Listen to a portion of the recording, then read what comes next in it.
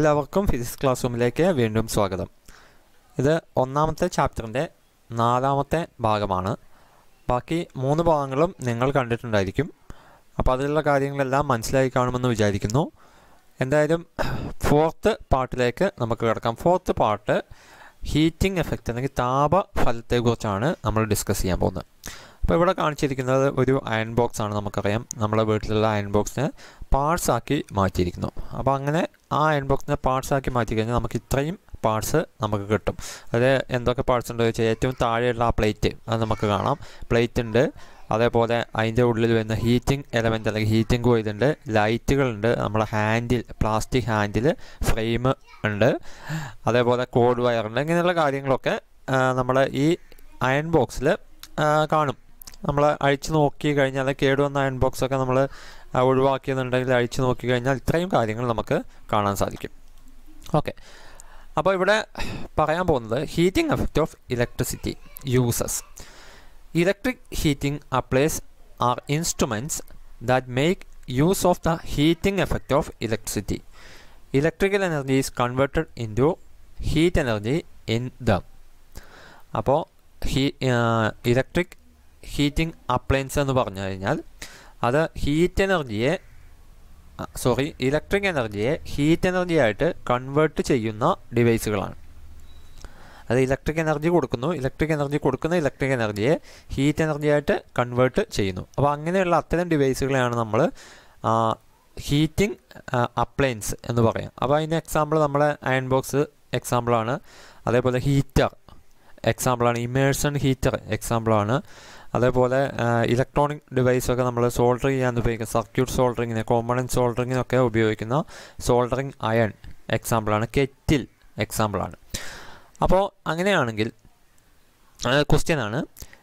Name the part in which electrical energy changes into heat energy അപ്പോൾ അങ്ങനെയാണെങ്കിൽ ഈ ഉപകരണങ്ങളിലൊക്കെ ഇലക്ട്രിക്കൽ എനർജി ഹീറ്റ് എനർജി ആയിട്ട് കൺവേർട്ട് ചെയ്യുന്ന പാർട്ട് ഏതാണ്? ഭാഗം ഏതാണ്? അപ്പോൾ അതിനു വേണ്ടിയാണ് നമ്മളിവിടെ അയൺ ബോക്സ് അഴിച്ച് അതിന്റെ പാർട്സുകളൊക്കെ ഇവിടെ കാണിച്ചത്. അപ്പോൾ ഈ ഒരു ക്വസ്റ്റിന് വേണ്ടിയാണ് ഈ പാർട്സുകൾ ഇവിടെ കാണിച്ചിരുന്നത്. അപ്പോൾ ഈ കാണിച്ചിരിക്കുന്ന പാർട്സുകളിൽ ഏതാണ് ഇലക്ട്രിക്കൽ എനർജിയെ ഹീറ്റ് എനർജിയായിട്ട് കൺവേർട്ട് ചെയ്യുന്നത് എന്നാണ് question then second question which material is use to make this part അങ്ങനെയാണെങ്കിൽ ഏത് മെറ്റീരിയൽ കൊണ്ടാണിത് നിർമ്മിച്ചിരിക്കുന്നത്?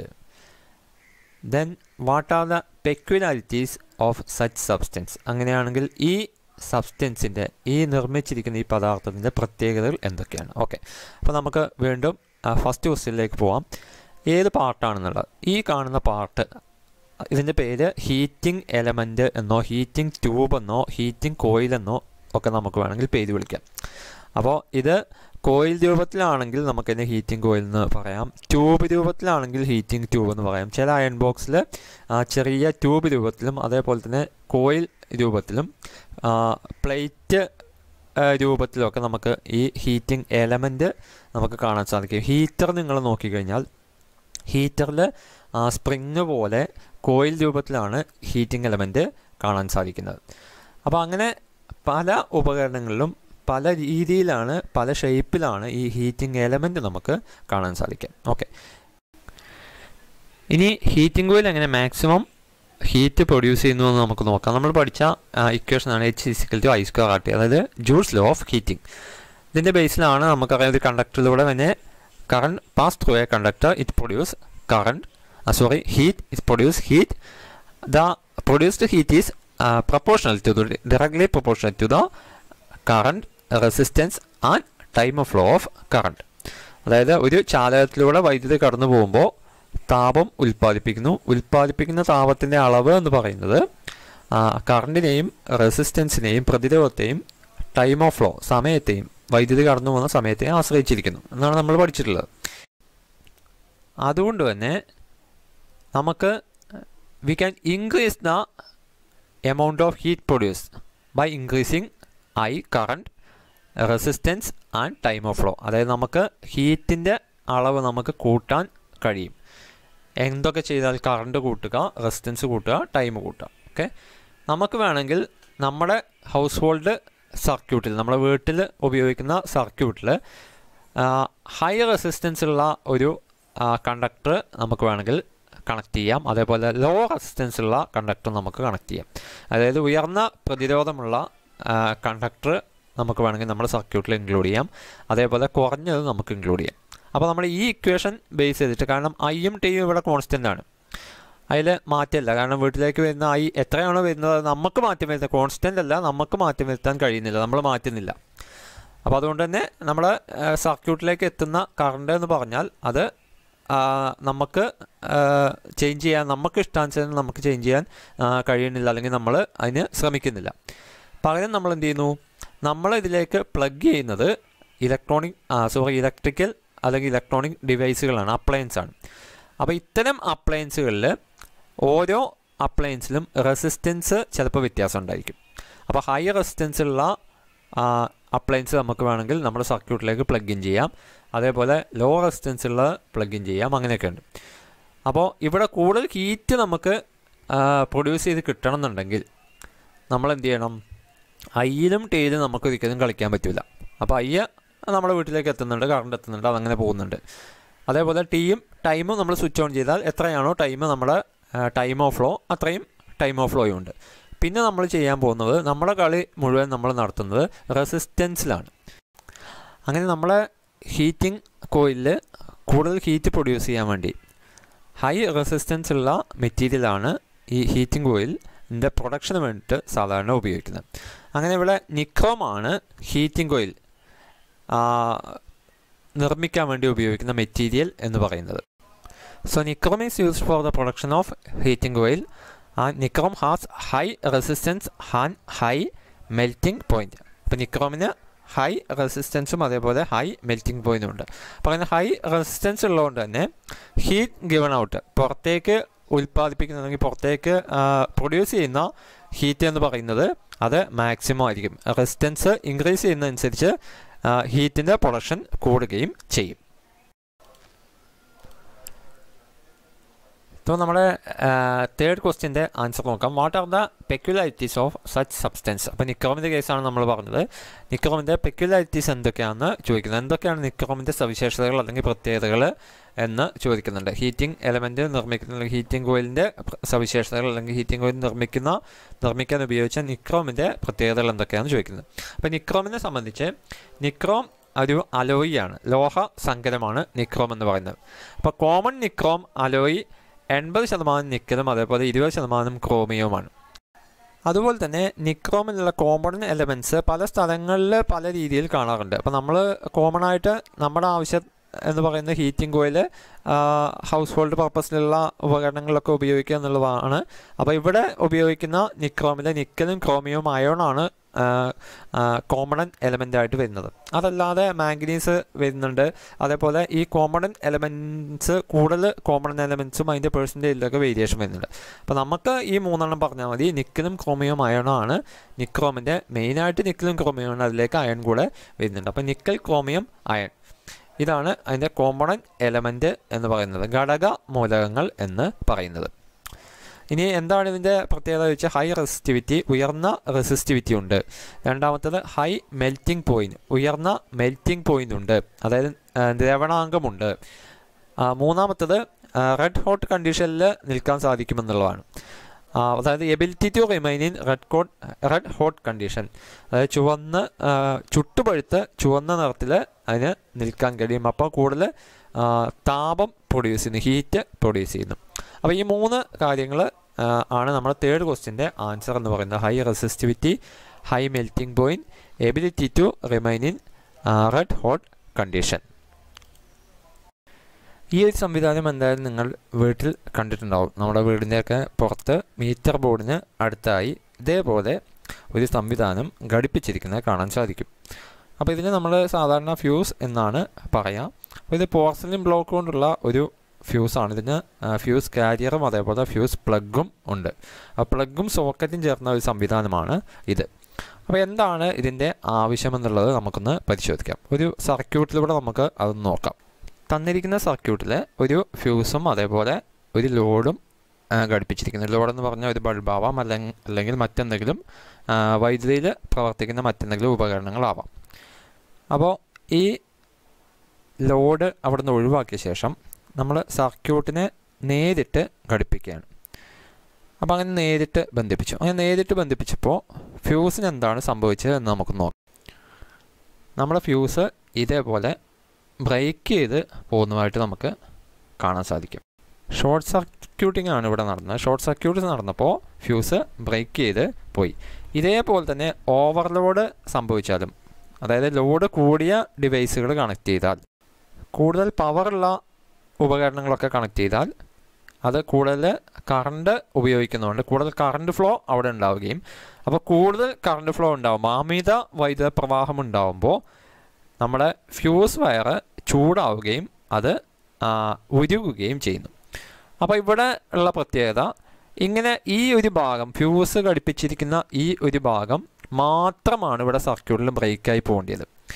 അപ്പോൾ ഈ ഫ്യൂസ് ഇല്ലാതെയാണ് നമ്മുടെ ഈ സർക്യൂട്ടെങ്കിൽ തീർച്ചയായിട്ടും ഈ സംഭവങ്ങൾ നടക്കുമ്പോൾ അതായത് ഷോർട്ട് സർക്യൂട്ട് നടക്കുകയോ അതേപോലെ ഓവർലോഡിങ് നടക്കുകയോ ചെയ്തു കഴിഞ്ഞാൽ സർക്യൂട്ട് മുഴുവനായി മൊത്തത്തിൽ ഒരേപോലെയാണ് ചൂടാവുക.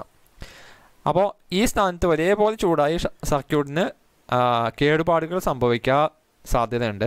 അതുകൊണ്ട് ഇങ്ങനെ സംഭവിക്കാതിരിക്കാൻ വേണ്ടി അപ്പോൾ സർക്യൂട്ടിന് മാത്രമല്ല അതുമായി ബന്ധിപ്പിച്ചിരിക്കുന്ന ഉപകരണങ്ങൾക്കും കേടുപാട് സംഭവിക്കാൻ സാധ്യതയുണ്ട്.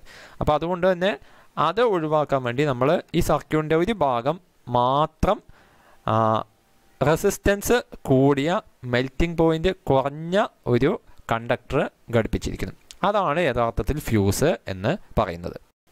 അപ്പോൾ നമ്മൾ ചെയ്ത കാര്യം നമ്മുടെ സർക്യൂട്ടിന്റെ ഒരു ചെറിയൊരു പോർഷൻ കട്ട് ചെയ്ത ശേഷം അവിടെ ഫ്യൂസ് വയർ എന്ന് പറയുന്ന ഒരു സംവിധാനം ഘടിപ്പിക്കുന്നു. അപ്പോൾ ഇത് സർക്യൂട്ടിന്റെ തുടക്കത്തിലാണ് സാധാരണ നമ്മൾ ചെയ്യാറ് ഒരു സർക്യൂട്ട് സ്റ്റാർട്ട് ചെയ്യുന്ന സ്ഥലത്താണ് സാധാരണ ഇത്തരം കാര്യങ്ങൾ നമ്മൾ ഘടിപ്പിക്കുക. അപ്പോൾ ഇത് റെസിസ്റ്റൻസ് കൂടിയ റെസിസ്റ്റൻസ് കൂടിയ എന്ന് പറയുമ്പോൾ കൂടുതൽ ഹീറ്റ് പ്രൊഡ്യൂസ് ചെയ്യും. മെൽറ്റിംഗ് പോയിന്റ് കുറഞ്ഞ മെൽറ്റിംഗ് പോയിന്റ് കുറഞ്ഞ എന്ന് പറയുമ്പോൾ സർക്യൂട്ടിലുള്ള മറ്റ് കണ്ടക്ടേഴ്സ് അല്ലെങ്കിൽ മറ്റ് ഭാഗങ്ങൾ മെൽറ്റ് ചെയ്യുന്നതിന് മുമ്പ് തന്നെ ചൂടായി കേടുപാടുകൾ സംഭവിക്കുന്നതിന് മുമ്പ് തന്നെ ഇത് മെൽറ്റ് ചെയ്ത് ബ്രേക്കായി പോകുന്നു. അപ്പോൾ അങ്ങനെയുള്ള സംവിധാനത്തെയാണ് നമ്മൾ ഫ്യൂസ് എന്ന് പറയാം. അപ്പോൾ എന്താണ് ഫ്യൂസിന്റെ ഉപയോഗം? Fuses use to prevent the damaging effect of short circuit and overloading അപ്പോൾ ഫ്യൂസ് എന്ന് പറയുന്നത് ഓവർലോഡിങ്ങും അതേപോലെ ഷോർട്ട് സർക്യൂട്ടും ഉണ്ടാക്കുന്ന ഡാമേജിങ് എഫക്റ്റ് തടയാനുള്ള സംവിധാനങ്ങളാണ് നമ്മൾ ഫ്യൂസ് എന്ന് പറയുന്നത്. ഇവിടെ നമ്മളെ പോർസലിൻ പ്ലഗ് ആൻഡ് സോക്കറ്റ് ഫ്യൂസാണ് കാണിച്ചിരിക്കുന്നത് അതിൽ ഈ പ്ലഗിന്റെ ബേസ് നമുക്ക് കാണാം. ആ ബേസ് നമ്മൾ പുറമേ പ്ലഗ് ചെയ്ത ശേഷം പുറമേക്ക് കാണുന്ന ഭാഗമാണ് ബേസ് പിന്നെ ഉള്ളിൽ രണ്ട് മെറ്റാലിക് കോണ്ടാക്റ്റ് കാണാൻ പറ്റും. അപ്പോൾ രണ്ടാമത്തെ ഫിഗ ഫിഗറിൽ നോക്കി കഴിഞ്ഞാൽ ആ ഫ്യൂസ് വയർ ഈ രണ്ട് മെറ്റാലിക് കോണ്ടാക്റ്റിലേക്കും കണക്ട് ചെയ്ത് സ്ക്രൂ ഉപയോഗിച്ച് കണക്ട് ചെയ്ത് ഇട്ടിരിക്കുന്നതായിട്ട് നമുക്ക് കാണാം. അപ്പോൾ ഇത് നമ്മൾ പ്ലഗ് ചെയ്യും. പിന്നെ പ്ലഗ് ചെയ്ത ശേഷം ഇതേപോലെ ഷോർട്ട് സർക്യൂട്ട് അല്ലെങ്കിൽ ഓവർലോഡിംഗ് ഒക്കെ സംഭവിച്ചു കഴിഞ്ഞാൽ ഈ ഫ്യൂസ് വയർ മെൽറ്റ് ചെയ്ത് പോകുന്നു അപ്പോൾ അങ്ങനെ മെൽറ്റ് ചെയ്യണമെങ്കിൽ നമ്മൾ പറഞ്ഞു ലോ മെൽറ്റിംഗ് പോയിന്റ് വേണം. കാരണം ബാക്കിയുള്ള സർക്യൂട്ടിലുള്ള കാര്യങ്ങളൊക്കെ മെൽറ്റ് ആവുന്നതിന് മുമ്പ് തന്നെ ഇത് മെൽറ്റ് ചെയ്ത് ബ്രേക്കായി പോകണം അപ്പോൾ അങ്ങനെയാണെങ്കിൽ പെട്ടെന്ന് മെൽറ്റ് ആവണമെങ്കിൽ നമ്മൾ അതും പറഞ്ഞു ഹൈ റെസിസ്റ്റീവ് റെസിസ്റ്റിവിറ്റി അല്ലെങ്കിൽ റെസിസ്റ്റൻസ് വേണം. കാരണം എങ്കിൽ മാത്രമേ ഇത് പെട്ടെന്ന് ചൂടാവുള്ളൂ. ജൂൾസ്ലോയുടെ ബേസിൽ പെട്ടെന്ന് ചൂടാവുള്ളൂ. അപ്പോൾ അങ്ങനെ ഇത് ചൂടാവുന്നു. അത് കഴിഞ്ഞ് ഇത് ബ്രേക്ക് ആവുന്നു. ബ്രേക്ക് ചെയ്ത ശേഷം അപ്പോൾ അങ്ങനെ ആവണമെങ്കിൽ നമ്മൾ ഇതിനു വേണ്ടി സ്യൂട്ടബിൾ ആയിട്ടുള്ളൊരു മെറ്റീരിയൽ സെലക്ട് ചെയ്യണം. ഫ്യൂസ് വയറിന്റെ പ്രൊഡക്ഷന് വേണ്ടിയിട്ട് അപ്പോൾ അതും നമ്മൾ ഹീറ്റിംഗ് ഓയിലിന്റെ കേസ് പറഞ്ഞ പോലെ തന്നെ ഇവിടെയും നമ്മളൊരു അലോയ് ആണ് യൂസ് ചെയ്യുന്നത്. അലോയ് ടിൻ പ്ലസ് ലെഡ് ടിന്നും ലെഡും ചേർന്ന ഒരു മിക്സ് ചെയ്തിട്ടുള്ള അലോയ് ആണ് നമ്മൾ ഫ്യൂസ് വയറിന്റെ പ്രൊഡക്ഷന് വേണ്ടിയിട്ട് ഉപയോഗിക്കുന്നത്. അപ്പോൾ material use for the use as fuse fire എന്ന് ചോദിക്കുകയാണെങ്കിൽ നമുക്ക് പറയാം ടിൻ പ്ലസ് ലെഡ് ടിന്നിന്റെയും ലെഡിന്റെയും alloy alloy of tin and lead അതാണ് ആൻസർ ഇനി നമുക്ക് ടൈപ്പ് ഓഫ് ഫ്യൂസസ് ഏതൊക്കെ ടൈപ്പ് ഇപ്പോൾ നമ്മൾ ഉപയോഗിക്കുന്ന ഫ്യൂസസ് ഏതൊക്കെയാണെന്ന് നമുക്ക് നോക്കാം. ഇപ്പോൾ പ്രധാനമായിട്ടും ഫ്യൂസുകൾ എ സി ഫ്യൂസുകളാണെങ്കിൽ ലോ വോൾട്ടേജ് ഫ്യൂസും അതേപോലെ ഹൈ വോൾട്ടേജ് ഫ്യൂസും ഉണ്ട്. അപ്പോൾ ലോ വോൾട്ടേജ് ഫ്യൂസ് തന്നെ നമ്മൾ ഫിഗറിലൊക്കെ കാണുന്ന പോലെ കാർട്ടേജ് ഫ്യൂസസ് ഉണ്ട്. അതേപോലെ റീവയറബിൾ ഫ്യൂസസ് റീവയറബിൾ ഫ്യൂസസ് അതേപോലെ സിക്ക് sticker type fuses switch type fuses അതേപോലെ ഡ്രോപ്പ് ഔട്ട് ഫ്യൂസസ് അപ്പോൾ ഇതൊക്കെയാണ് പ്രധാനമായിട്ടും നോർമലി നമ്മൾ കണ്ടുവരുന്ന ഫ്യൂസുകൾ എന്ന് പറയുന്നത്. ഇനി നമ്മൾ ഉപയോഗിക്കുന്ന എം സി ബി നമ്മുടെ വീട്ടിലെ ഫ്യൂസുകൾക്ക് പകരമായിട്ട് ഉപയോഗിക്കുന്ന M C B nowadays M C Bs are commonly using instead of our old plug and socket fuses അപ്പോൾ പഴയ നമ്മുടെ സോക്ക പ്ലഗ് ആൻഡ് സോക്കറ്റ് ഫ്യൂസുകൾക്ക് പകരമായിട്ട് ഇപ്പോൾ വ്യാപകമായിട്ട് M C B miniature circuit breaker ഉപയോഗിക്കുന്നുണ്ട്. അപ്പോൾ എന്താണ് ഇതിന്റെ ഒരു പ്ലസ് പോയിന്റ് എന്ന് പറഞ്ഞു കഴിഞ്ഞാൽ നമുക്കറിയാം. ഇത് സർക്യൂട്ട് ബ്രേക്ക് ആയി കഴിഞ്ഞാൽ എം സി ബി അത് സ്വിച്ച് പോലെയാണ് അത് താഴേക്ക് വീഴും. അത് വീണ് കഴിഞ്ഞാൽ നമുക്ക് എന്ത് ഏത് ഉപകരണമാണോ ഈ പ്രശ്നം ഉണ്ടാക്കിയത് അത് ഡിസ്കണക്ട് ചെയ്ത ശേഷം നമുക്ക് വീണ്ടും മുകളിലേക്ക് അത് ഉയർത്തിയാൽ മതി. ഇനി ഇതിന്റെ വർക്കിംഗ് ഒന്ന് നോക്കാം. അത് സെക്ഷൻ ആണ് കാണിച്ചിരിക്കുന്നത്. എം സി ബിന്റെ ഉൾഭാഗമാണ്. ഇൻപുട്ട് കറണ്ട് നമ്മളിങ്ങനെ കൊടുക്കും ഏറ്റവും മുകളിൽ. അതിന് ശേഷം കോണ്ടാക്റ്റ് നമ്മൾ ഓൺ ചെയ്ത് കഴിഞ്ഞാൽ ഓൺ ചെയ്ത് കഴിയുന്നതോടുകൂടി അവിടെ ഒരു കോയിൽ നിങ്ങൾക്ക് കാണാം. ആ കോയിൽ വഴി കറണ്ട് താഴേക്ക് ഫ്ലോ ചെയ്യും. അപ്പോൾ ഈ കോയിൽ ഒരു മാഗ്നറ്റിക് കോയിലാണ് അപ്പോൾ ഓൺ ചെയ്യുന്നതോടുകൂടി ഇത് മാഗ്നറ്റിക് കോയിൽ വർക്ക് ചെയ്യുകയും ഒരു മെറ്റാലിക് സ്ട്രിപ്പ് ഉണ്ട്. ആ മെറ്റാലിക് സ്ട്രിപ്പ് അവിടേക്ക് തട്ടുകയും അതിന്റെ ഫലമായിട്ട് സർക്യൂട്ട് കംപ്ലീറ്റ് ആവുകയും ചെയ്യും. ഇനി അതേപോലെ ഓവർലോഡിങ്ങോ ഷോർട്ട് സർക്യൂട്ടോ ഒക്കെ ഉണ്ടായി കഴിഞ്ഞാൽ എന്ത് സംഭവിക്കും? ഇത് നേരെ ഈ ബൈമെറ്റാലിക് സ്ട്രിപ്പ് വളഞ്ഞ ശേഷം ഇത് ഡൗൺ ആയിട്ട് താഴേക്ക് ഓഫായി വീഴുകയും ചെയ്യും. അപ്പോൾ എങ്ങനെയാണ് ഇതിന്റെ വർക്കിംഗ് എന്ന് പറയുന്നത്? ഇന്ന് പഠിച്ച പ്രധാനമായിട്ടും പഠിച്ച രണ്ട് കാര്യങ്ങൾ ഫസ്റ്റ് വൺ ഹീറ്റിംഗ് കോയിൽ അതേപോലെ തന്നെ സെക്കൻഡ് വൺ സേഫ്റ്റി ഫ്യൂസ് അപ്പോൾ ഹീറ്റിംഗ് കോയിലിൽ നാം എന്തൊക്കെ പഠിച്ചു എന്ന് ചോദിച്ചു കഴിഞ്ഞാൽ ഹീറ്റിംഗ് കോയിലിൽ so today we are discussed about the heating effect of electric current heating effect വൈദ്യുതിയുടെ താപഫലത്തെക്കുറിച്ചാണ് നമ്മൾ ചർച്ച ചെയ്തത്. അതിൽ വരുന്ന ഫസ്റ്റ് വൺ എന്ന് പറഞ്ഞാൽ ഹീറ്റിംഗ് കോയിലാണ് നമ്മൾ പറഞ്ഞു. ഹീറ്റിംഗ് കോയിലിന്റെ സ്പെക്കുലാരിറ്റീസ് പറഞ്ഞിട്ടുണ്ട്. ഹൈ റെസിസ്റ്റിവിറ്റി അതേപോലെ തന്നെ ഹൈ മെൽറ്റിംഗ് പോയിന്റ് എന്റെ മെറ്റീരിയൽ ചോദിച്ചു കഴിഞ്ഞാൽ നിക്രോമാണ്. മെറ്റീരിയൽ അലോയ് ആണ്. നിക്കൽ ക്രോമിയം അയൺ അതാണ് അതിന്റെ കോമ്പണന്റ് എലമെന്റ്സ് എന്ന് പറയുന്നത്. നെക്സ്റ്റ് വൺ സേഫ്റ്റി ഫ്യൂസ് പറഞ്ഞു. Safety fuse device use to prevent the damaging effect from overloading and short circuit. Short സർക്യൂട്ടിൽ നിന്നും അതേപോലെ ഓവർലോഡിൽ നിന്നും സർക്യൂട്ടിനെ സംരക്ഷിക്കാൻ വേണ്ടിയാണ് സേഫ്റ്റി ഫ്യൂസ് എന്ന് പറയുന്ന സംവിധാനം നാം ഉപയോഗിക്കുക. അപ്പോൾ അതേപോലെ തന്നെ അതിൽ തന്നെ ടൈപ്പ് ഓഫ് ഫ്യൂസ് പറയുന്നുണ്ട്. പിന്നെ ഫ്യൂസ് വയറിനെ കുറിച്ചാണ് നമ്മൾ പറഞ്ഞത്. ഫ്യൂസ് വയർ എന്ന് പറയുന്നത് മെറ്റീരിയൽ നിർമ്മിക്കുന്ന മെറ്റീരിയൽ ഏതാണെന്ന് ചോദിച്ചു കഴിഞ്ഞാൽ അലോയ് ഓഫ് ടിൻ ആൻഡ് ലെഡാണ് ലോഹസങ്കരം ടിന്നും ലെഡും ചേർന്ന ലോഹസങ്കരമാണ് ഈ ഫ്യൂസ് വയർ നിർമ്മിക്കാൻ വേണ്ടി ഉപയോഗിക്കുന്നു. അപ്പോൾ എന്തായാലും അടുത്ത ക്ലാസ്സിൽ നമുക്ക് lighting എഫക്റ്റാണ് so stay tuned okay bye